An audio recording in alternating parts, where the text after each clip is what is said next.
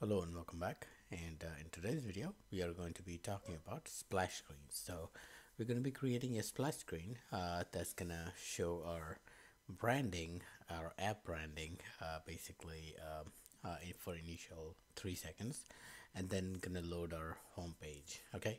So this is what it's gonna look like.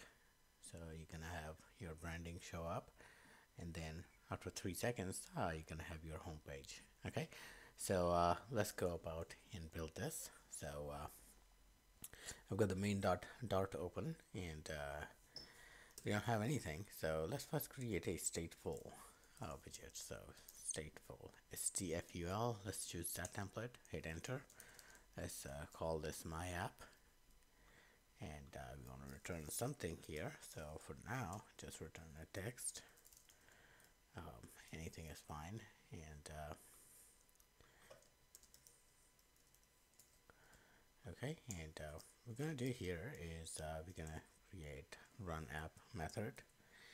And uh, here uh, we're gonna actually use our uh, material. So reason we're gonna use our um, material app here because um, if we create one material app it has its own window and all the instances that it provides it provides its own navigate navigation controller app bar and stuff like that. So every other screen that you add uh, you add it inside that material app and basically that becomes part of one app ecosystem okay? So that's why what we are doing is when we are initializing our app we are actually creating material app in the main. So all the other pages when we're gonna load they're all gonna get added in this material app. So navigation back button and stuff like that will automatically work. Now alternatively what you can do is you can create a home page um, or main page and uh, you can have that as a as a stateless widget and basically return material app from there. So we're gonna see that variation in future videos but uh, for now let's uh, take a look at this variation okay? So you're gonna have home and home is going to be my app like so okay? Now if I uh, go ahead and uh, start uh, let's take a look what we've got so far. And uh, there is a reason why uh, we, are, we are creating excuse me uh, why we are creating this um, stateful widget not stateless because uh, what we want to do is uh, when we load the page we want to change the state after three seconds and uh, uh, we want to take certain actions after three seconds. And uh, that action is basically navigating to a new screen which is why we thought like you know uh, but I mean it is required uh, uh, to have like you know this widget to be stateful. Okay. Alright so we have that a center that widget loading fine so let's go ahead and fix up this widget a bit so let's uh, return a scaffold here. Scaffold is going to have a body and body is going to be center and cent child is uh, we're going to use flutter logo. Flutter logo takes a size. I'm to put 400 in this case. Let's go ahead and refresh this. Okay, that looks better.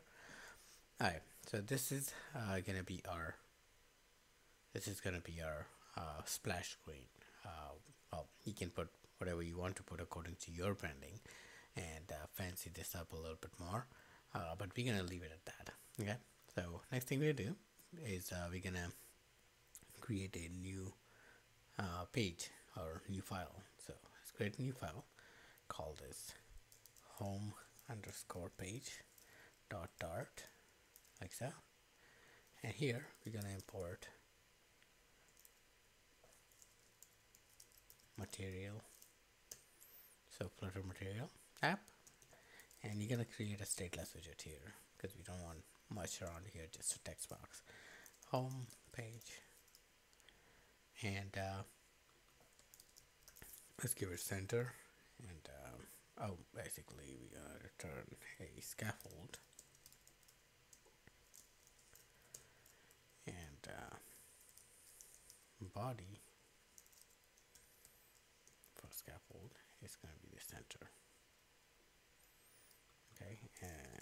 this is going to be a text.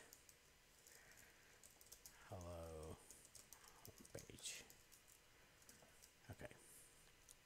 So once we've added that page this is going to be our home page where we're going to navigate to. So let's go back to our main.dart let's import this. So import home page.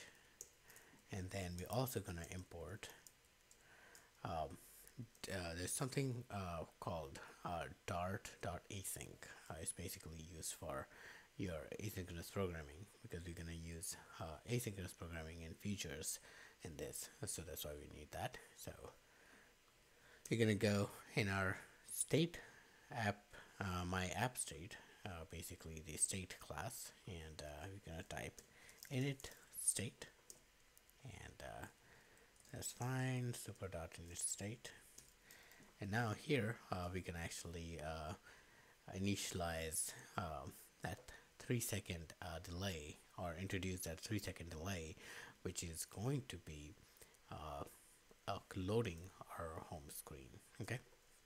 So we're going to call future dot delay or delayed. And uh, we're going to give it a duration so duration and duration takes uh, seconds. And uh, number of seconds basically uh, it's going to be 3 now second to that is uh, uh, this delayed also takes a uh, an anonymous function. So we're gonna keep that. And um, and what we're gonna do here is that we're gonna call our navigator. So navigator dot push and uh, we are passing the context that we have received. Route is going to be material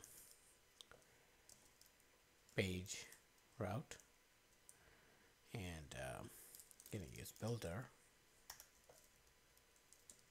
This is gonna pass a context to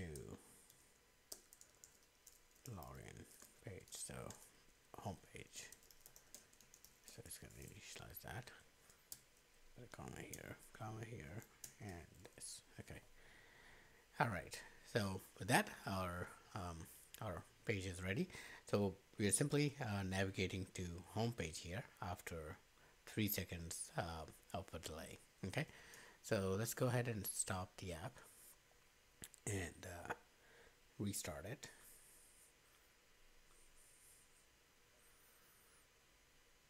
okay and uh, let's give it a, a few seconds to uh, start the build and uh, load the files. And then we should see our splash screen. Okay the app is installed and uh,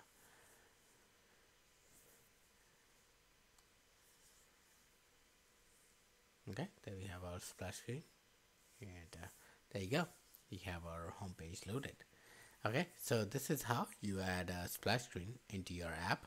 And um, uh, basically uh, just just go from there. Now remember the key is uh, your all your pages that you add have to will have to return a scaffold not a material app. So mistake you can do is basically have a material app here um, that's not gonna work because this is a child uh, page. Uh, you want to add material app either at the run app level or create a new stateless widget and introduce material app over there and then add this uh, splash screen as the home for that okay?